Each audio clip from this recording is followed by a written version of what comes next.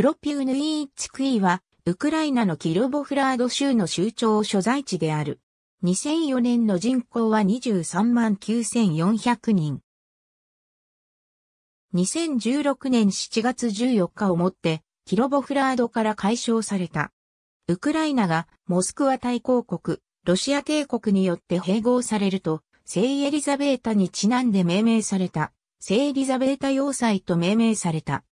ロシア革命後の1924年に、同地の出身であるグリゴリー・ジノビエフにちなんで、ジノービエフスクと解消されたが、1934年、ジノビエフの失脚に伴い、ジノビエフによって暗殺されたとされていた、セルゲイ・キーロフにちなんだキーロボに解消された。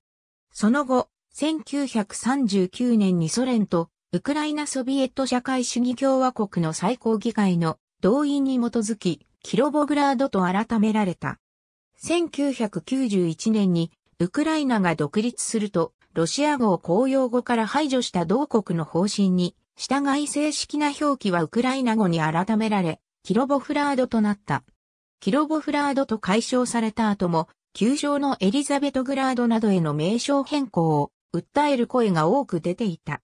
その後、2014年クリミア危機による反ロシアの機運とともに、ウクライナの脱共産主義化を訴える声が一層高まった。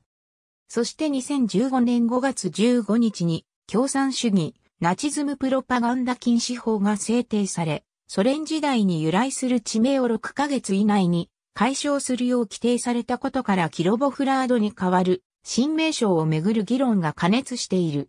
上記のエリザベトグラードは国民から76.6%の支持を得たものの、ロシア由来のためベルホーブナラーダは認めないとみられた。同年12月23日に、ベルホーブナラーダは近くを流れるインフレツ川に基づく、インフルスクの名称を提唱。その後、2016年3月31日、ベルホーブナラーダの国家建設、地域政策の地方自治委員会は、キロボフラードの近くで生まれた劇作家、俳優のマルコ・クロピウヌイ・チクイにちなむ、クロピウヌイー・チクイと解消する、要提唱。この提案は、同年7月14日に正式に承認された。ユークレーニアンパーラメントイントロデュースド、エービル2版オールロシアン、ジオグラフィックネームズスターティングフロムザ14、センチュリーハット、ケンソル、2015年5月21日閲覧。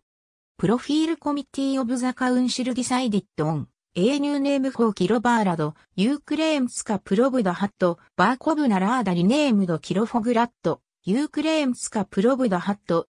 2016年7月20日閲覧。ありがとうございます。